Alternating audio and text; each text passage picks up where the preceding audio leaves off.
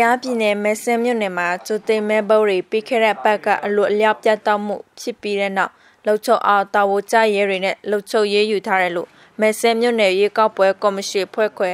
မြို့နယ်ရေကောက်ပွဲအရာရှိဦးဝေးကျော်မြင့်ဦးကပြောပါတယ်။ပြန်ပြောချင်တာကကျွန်တော်တို့လုံရေးကျိုးကိုတင်းတင်းကြပ်ကြပ်ချီထားတယ်တင်းကြပ်ချီထားတော့တခုခုနဲ့မတော်တဆတိုင်းပြီးတော့ပြတ်သွားတယ်ပေါ့နော်ပြတ်ပြတ်သွားတော့ကျွန်တော်တို့ပြတ်သွားတဲ့အချိန်မှာအထဲမှာလည်း ကျိုးတဲ့ဆန္ဒမဲတွေမရောက်သေးတဲ့အတွက်ကျွန်တော်ဥစ္စာပြဿနာဖြစ်ပေါ်နိုင်တဲ့အခြေအနေလည်းမရှိဘူးနော်မရှိမရှိတော့ကျွန်တော်အမျိုးနဲ့တို့မရှိတဲ့နိုင်ငံရေးပါတီအကုန်လုံးပြခေါ်တယ်ကိုယ်စားလှယ်တော်ကိုခေါ်တယ်ဟိုကျွန်တော်စပိတ်လုံးကလေးသူတို့အကုန်လုံးခေါ်ပါတယ်ခေါ်ပြီးတော့မှတ်သားစီတယ်ဒီဟိုလုံချုံချုံမှတ်စင်တွေကိုနောက်တော့လဲလဲတက်စင်တယ်လဲတက်စင်တဲ့အကုန်ခေါ်တယ်အဲ့လိုပဲဆောင်ရွက်ခဲ့ပါတယ်နော်ကျူတေမဲဘောလှချုံရေးချိုးပြတဲ့ကိစ္စနဲ့ပတ်သက်ပြီးအခုလိုပြတ်သွားလိုက်ပြအစားထိုးလိုက်မလုပ်ပဲ ခိုင်လုံတဲ့အကြောင်းပြတ်ချက်ရှိဖို့ပိုရေးကြီးတဲ့အကြောင်းလော်ဟုတ်ဥပဒေအကြံပေးကိုကျော်ဝနအောင်ကပြောပါတယ်အာအစားထိုးလို့ရတယ်မရတဲ့ထက်အာသူကတော့အချင်းချက်တော့ရှိမှာနော်ဘယ်ဟာမှစိန်လုံးချော်တော့မရှိဘူးပြတ်သွားတော့ပြန်စားထိုးလို့ရနိုင်ဒါပေမဲ့ခဏပြန်မျိုးဟိုအရန်စီမဲ့ကမ်းမဲ့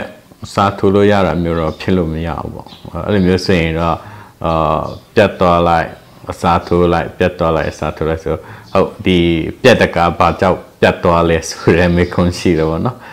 ဆိုရင်တော့ဖြတ်လိုက်တာလားဘာကြောက်ပြတ်သွားရတာလဲဆိုရဲမေခွန်အဲ့ဒါအဖို့ရေးကြည့်ပါတယ်ခဏပြောလို့မျိုးအစားထိုးခြင်းမထိုးခြင်းဆိုတာတည်းလေနော်ဘာကြောက်ပြတ်သွားတယ်လဲဆိုရဟာပိုရေးကြည့်ပါတယ်အကယ်တဲ့တစုံတယောက်ကဖြတ်လာတတ်ဆိုရတော့မရအောင်ဖောင်းပြီးပေါ့နော်ပြီးခဲ့တဲ့ရက်ပိုင်းတွင်ခရပြည်နယ်မဲဆဲမြို့နယ်မှာ ကျိုတင်မဲဘုတ်ကျိုပြတ်ခဲ့တဲ့ကိစ္စနဲ့ပတ်သက်ပြီးအဲ့ဒီကျိုတင်မဲဘုတ်ထဲမှာကျိုတင်မဲတွေမရှိသေးတဲ့အတွက်စိုးရိမ်စရာမလိုသေးဘူးလို့ပြောကြပါတယ်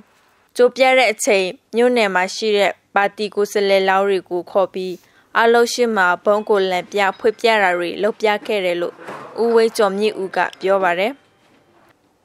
ကျိုသိမ်မဲဘောလို့ချုပ်ရဲ့အပိုင်းနဲ့ပတ်သက်ပြီးမဲဆဲမြို့နယ်ရွေးကောက်ပွဲကော်မရှင်အဖွဲ့ခွဲတွေအနေနဲ့ စီစီဆောင်ရွက်ထားမှုတွေကိုမဲဆဲကျေးရွာအုပ်စုရွေးကောက်ပွဲကော်မရှင်အဖွဲ့ခွဲဥက္ကဋ္ဌက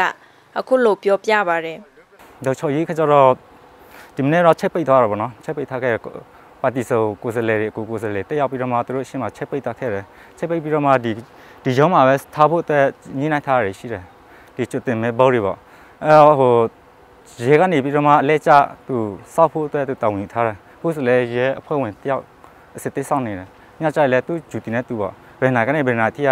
ဘယ်ရဲကနေပြီးတော့မှတောင်းယူစောက်ကြည့်မယ်ဆိုပြီးသူစောက်ခရဒီဖက်မှာသူစောက်ထားထားပြီးတယ်ဒီမှာသူတို့ရဲ့လော်ချော်ရေးအဖွဲ့တွေကဒီမှာအိမ်မယ်ပြီးရင်သူ့လက်ချတော့နဲ့သူဆက်ပြီးတော့မှတာဝန်ယူတောင်းမော်လော်ချော်ပိုင်းမဲဆဲမြို့နယ်မှာမဲပေးနိုင်တဲ့လူဦးရေ9285ဦးရှိပါတယ်။မဲဆန္ဒနယ်အမှတ်1မှာမဲပေးပိုက်ခွင့်ရှိသူ2900ကျော်ရှိပြီးတော့မဲဆန္ဒနယ်အမှတ်2မှာ